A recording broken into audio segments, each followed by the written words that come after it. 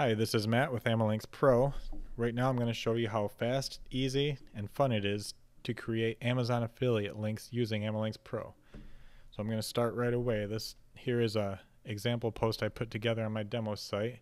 First thing I'm going to do is create a text link. So right here where it says waist pack, I want to turn that into a text link. So I highlight it and I copy it and then I click the Amalinks Pro button. Right here I'm just going to paste in that term and use it as a search term for waist pack. And I look through my Amazon results here. This one looks good, so I'm going to randomly kind of choose this one. I'm going to, that was step one. Now this is step two where you choose your link type. I'm going to select text link. This is a preview for what it would look like. I want to change that, so I click the pencil icon. I'm going to delete all of that, and I'm going to paste in waist pack so it looks exactly like it did in the bullet point.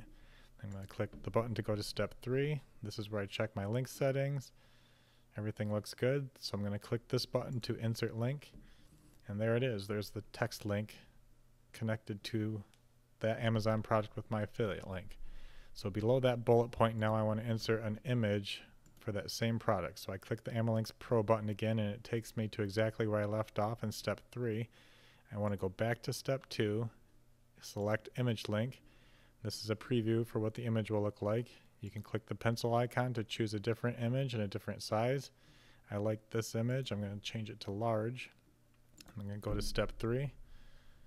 Check all my link settings. I want to align center and then insert link. You can also insert these as short codes if you want, but for these I like to insert link.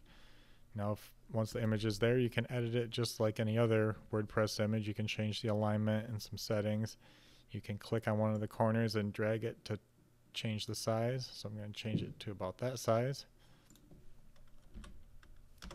And now I want to insert a CTA button centered right below this. So I'm going to change the alignment on this line to center. And click the Amalinks Pro button again. Go back to step two. Click the CTA link button. So this is what the button would look like. Again, I want to click the pencil icon to change that. I want to just remove all this text, delete it, and I want to change it to buy now on Amazon. And then I can change the appearance. You can either create a new CTA button and make it look however you want. You can change the colors, the border, the shadow, all that, the fonts. Or you can, if you've created buttons on this site before, they're all they are saved in here, and you can select any one you want. And I have a few of them here because I've been using this site to do examples and I kind of like this button so I'm going to click that button to select and now this is what my CTA looks like. So I go to step three, align center, all of my other settings look good. Then I click this button to insert shortcode and there it is. Now this last bullet point talks about larger hiking backpacks. So just below that I want to insert a showcase box featuring a larger hiking backpack. So I'm going to click the Amalinks Pro button. I put the cursor down there. In this case, I'm going to go all the way back to step one because I'm changing my search term. So I'm going to type in large hiking backpack. Click the search button. The search results come up. I'm just going to choose this one on the top. And then choose the showcase. And it takes a moment and it builds the showcase box. All of the options on here well, most of the options are editable. All of them can be toggled on or off. So you just click this little eye icon if you want to turn something off and not display on the front end. I'm just going to leave everything on.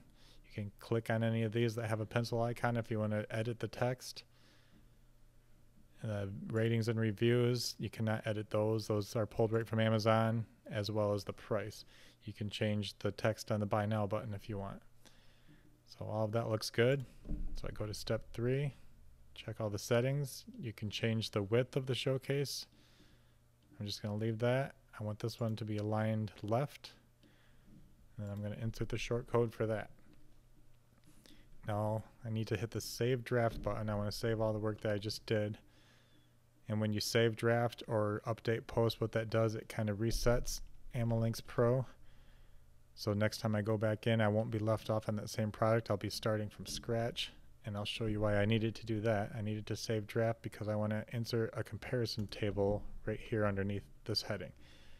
So get the cursor right there. I click the Amalinks Pro button. You see, I'm starting from the beginning again, at the beginning of step one. Instead of inserting a search term here, I want to click the table builder button. All of the previous tables I've created on this site show up here. I could insert any of these into this post, but in this case I want to create a new one. So I'm just going to do a quick example of hiking backpacks right here. To add products, I click this plus sign right here.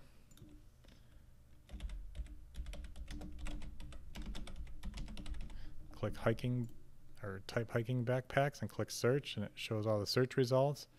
I'm just going to select a few of these products to add to the product comparison table. Once you get to the bottom of the search results, you can see you can access pages 2, 3, 4, 5 of Amazon as well, but I think I selected 4 or 5 backpacks, so I'm just going to click here to insert selections.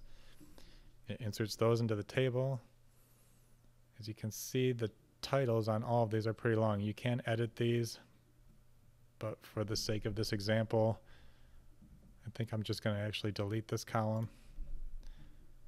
And I'm going to add a different column. I'm going to add brand. And so instead of the title, I'm going to list the brand for each of these backpacks. Insert column. And it puts it over here. I actually want to move this next to the image. So I'm just going to drag it drop it right here. And so now we have the image, the brand, the price, whether or not it's prime, and a buy now button. So after you have the table how you want, you save it, hit the save table button, then insert into classic editor. And it puts the shortcode in right there. Now if we want to see what this post looks like, hit the preview button.